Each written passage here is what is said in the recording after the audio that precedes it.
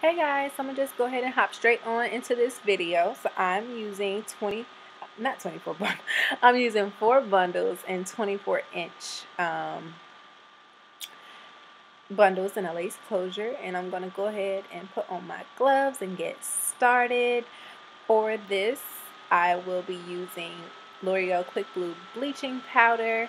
I use about one scoop each bundle. And I actually going to use 10 volume developer for um, to bleach my bundles. I know most people just use 10 volume to deposit color, but I'm going to use it for to lighten it. I don't want to get it that light, but trust me, I'm going to be able to get this bright red just using 10 volume. So I'm mixing up my um, bleach, getting it to the consistency that I want. And if if it's not like loose how I like it when I'm putting it on my bundles, then I just add more developer. So now I'm just going to start by the, lightening the ends and just working my way up the bundle and making sure I get inside of the bundle. Beginning that I didn't you know, take um, unroll the bundle. You want to make sure this part is very tedious. Um, when you, if I was doing like a blonde and wanting to keep it blonde, then I wouldn't. Then I would unfold the bundle. But because I'm going to deposit a red to it, I'm going. I it's fine. It's perfectly fine leaving it um, rolled up.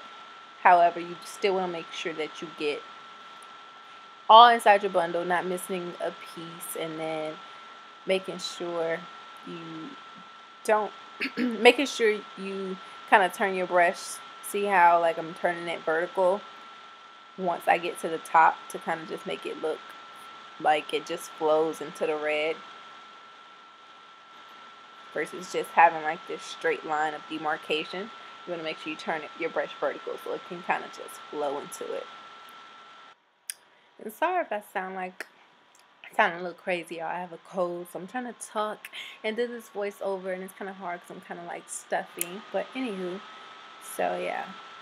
Um, what I'm going to do next, after I apply the um, finish applying all the bleach, I'm going to take this 40 volume developer and I'm just going to pour it on my brush like a very, very little bit and then just kind of like rub it onto my um rub it onto the bundles. Mm, just like literally a very little bit. And this is going to help keep it from drying out from your bleach to dry out because I really hate when I've been letting it process and then I look at it maybe about 20 minutes into it and my bleach is dried out. So putting the 40 volume developer up there. is going to keep your bleach from drying out so you can get the um, process and it's not going to damage your bundles. So I'm just going to place this in my aluminum foil and set it to a side and complete the rest of my bundles. I did not show you guys me bleaching the rest of my bundles because it's pretty much the exact same step that you just seen. But now I am going to show you guys how I bleach my closure and you want to make sure that you don't bring it up as high as you brought it up on your bundles because your closure is going to sit at the top of your head. So you want to make sure everything kind of flows. You don't want um, your closure, the red in your closure to be super duper high and then it flows and it's just covering the black on your bundles where the you know where the natural color is if that makes sense I hope it makes sense but um yeah so you just want to be careful to where you um placing your bleach because with it sitting on the top of your head, that's where it's going to fall. Fall, you want to make sure it falls well. And I'm also going to um, bleach the knots. Um, yeah, so I'm just going to kind of pat the bleach onto the lace. I'm not going to rub it because I don't want to get it and end up bleaching like through the hair.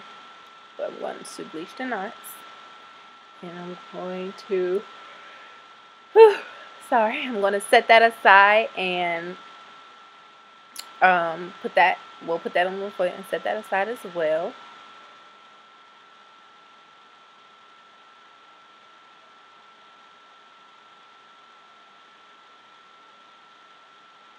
And now I'm going to set my timer on about 35 minutes and let it process.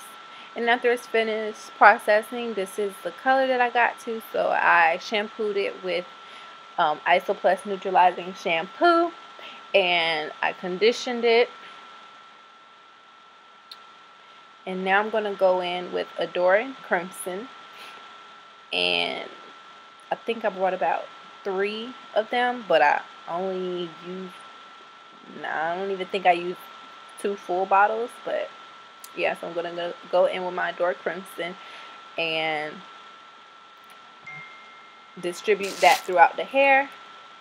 My phone is like blowing up. And yeah, so I'm going to let this process overnight after I distribute that throughout the hair.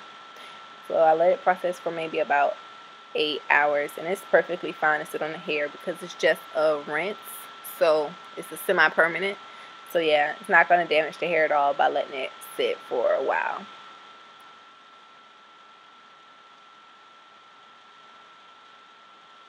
And after I let it sit for 8 hours, I rinsed it out. And this is the finished result. So vibrant.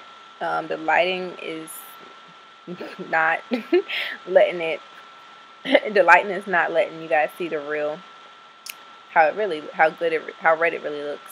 But yes, yeah, so now I'm going to go in and make my wig. And I already have a video up on that. I will link my video on how I make my wigs below so you guys can check that out. And I'm going in and wand curl it with my red, I don't know, what is that? My 3 fourths an inch, 3 fourths inch wand curler and this is the finished look. Anywho i hope you guys enjoyed this video. Please thumbs up please comment and subscribe to my channel if you do not subscribe and i will see you guys in my next video. Bye guys